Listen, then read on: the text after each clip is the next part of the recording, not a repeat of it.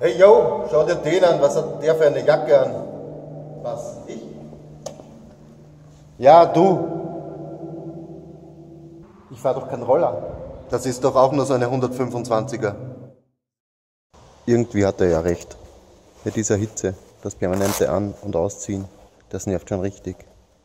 Vielleicht sollte ich mit kurzer Hose fahren und T-Shirt. Machen viele andere auch. Wird ja schon nichts passieren.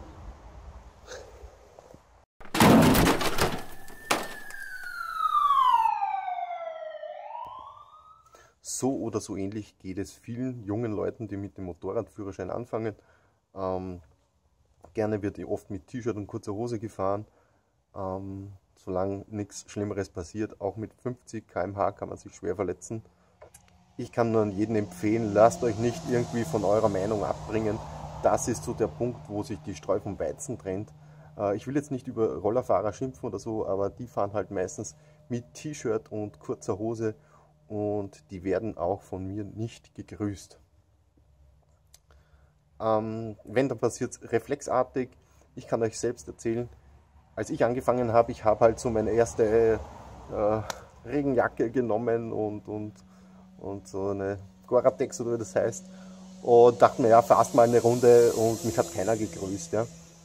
Ähm, den Respekt oder dazugehören tust du erst, wenn du auch auf dich selbst achtest beim Motorradfahren.